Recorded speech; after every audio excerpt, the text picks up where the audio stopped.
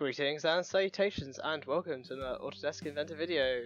In today's video we are returning to CADMAS and making a gold ring. Why a gold ring? Well because I made a mistake. Episode 5 should have been a gold ring but I've completely forgot about it as it got buried under all of my projects in the home and so it got completely left in the dark. So instead we're going to revisit it, where is it, gold ring, and we're going to make one because on the 5th day of Christmas my crew sent to me five gold rings, according to the song, so let's get to it. So to home, grab pass up, and we'll start a new sketch. Grab starts a sketch, and we're gonna make a line. Gonna make a line five five mils high, and we're gonna make another line far out that's parallel to it, five high. We're then going to dimension them to be seven and a half.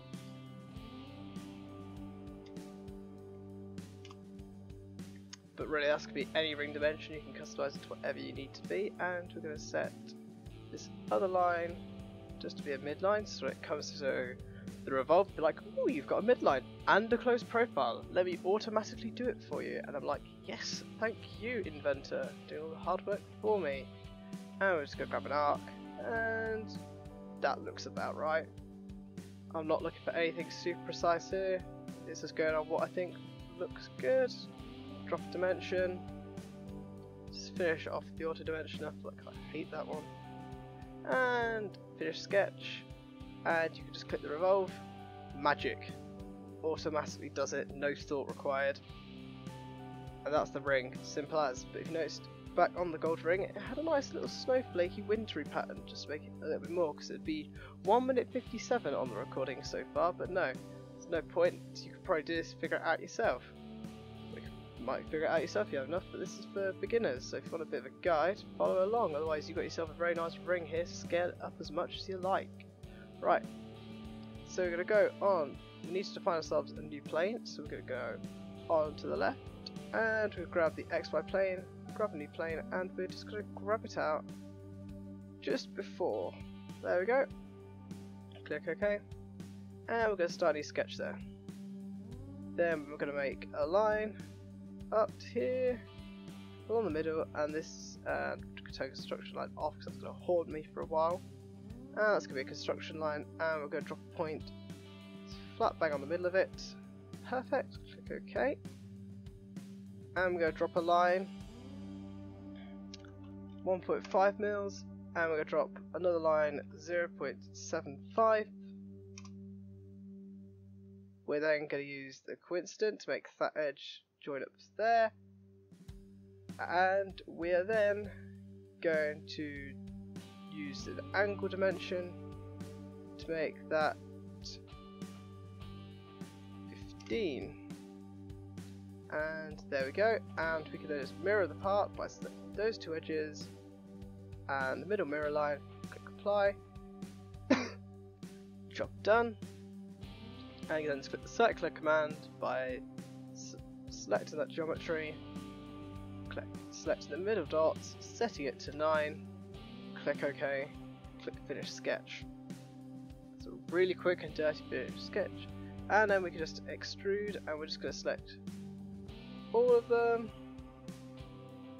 all the individual petals, we're going to turn it to a cut and we're going to go to this internal face and it'll magically only cut in precisely to it. Click OK.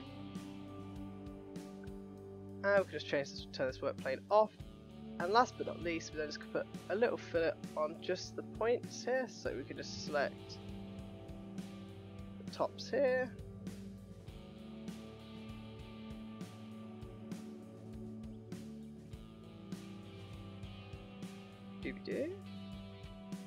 And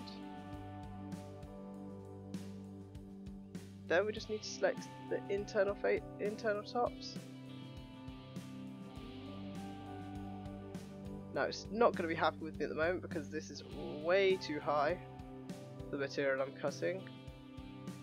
I only made this five five mils high, so it's going to be way too high. We're going to reduce it down substantially substantially to 0.05.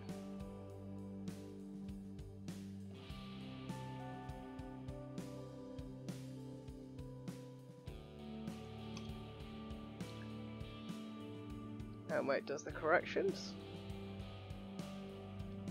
Click OK.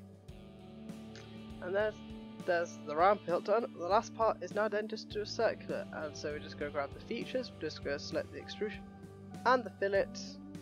The rotation axis is Y. And I'm just going to turn it up to 9 and click OK.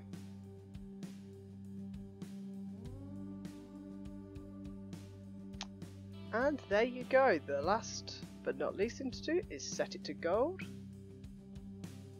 or any kind of material you want. Gold depends, varies. I think what I have it set on gold, um, gold ring. I had it set to gold. I had it set to metal 2400.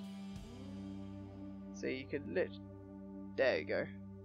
Depending on how, what kind of type of gold, what kind of color you want, whether you want rose gold as well. There's tons of opportunities. It doesn't have to be made out of gold. It can be made out of steel or titanium. But enough of me rambling on. Thank you for listening. I'll see you in the next video. Goodbye.